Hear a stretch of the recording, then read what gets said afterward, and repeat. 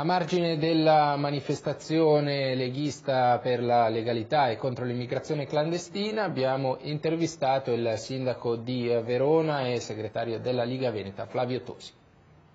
Flavio Tosi, oggi una piazza gremita piena da tutta la Padania unita perché la Bossi-Fini non deve essere toccata. Sì, perché la sciagura di Lampedusa è dovuta per carità è una sciagura e non bisogna farci polemica, polemica, polemica gratuita, però è chiaro che se tu illudi delle persone, dei poveracci in questo caso, disgraziati, sfortunati, che possono in qualche modo arrivare in Italia e quando arrivano gli si trova una soluzione lavorativa, una sistemazione,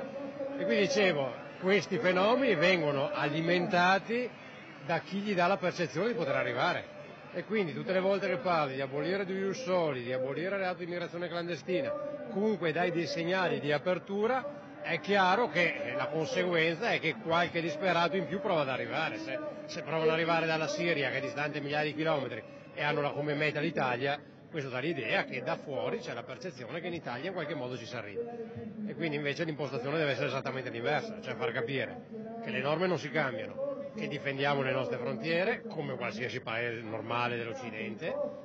e che oggi non c'è possibilità di accogliere. Oggi con la crisi che c'è non ci sono posti di lavoro neanche per i nostri ragazzi, abbiamo persone di una certa età che escono dal mondo del lavoro e non ne rientrano mai e sono disoccupati o cassa integrati, non ci sono i soldi per l'assistenza sociale,